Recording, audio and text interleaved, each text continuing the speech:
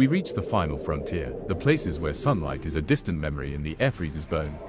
The prevailing image of the dinosaur age is heat, yet life conquered the extreme cold. We explore the frozen frontier, where giants evolved specialized insulation and radical resilience. These hardy creatures proved that the reign of dinosaurs stretched from the equator to the very poles of the Earth. The frozen frontier is a world of stark beauty and immense cold.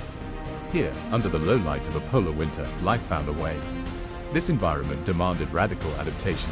Feathers were the answer. Dense, downy coats provided crucial insulation against the brutal cold, allowing smaller predators to hunt and larger herbivores to survive the long, dark season by huddling for communal warmth. Survival was a tireless exercise in endurance. Massive footprints marked the movement of giants across the frozen ground. Every moment was a search for shelter or a meager meal, a battle won through sheer willpower. Yet, even here, ferocity commanded the hunt. Mm-hmm. Specialized predators, built for the cold, use brief bursts of speed and striking power, knowing a frozen environment demands maximum efficiency from every attack. The cold also reigned in the mountains.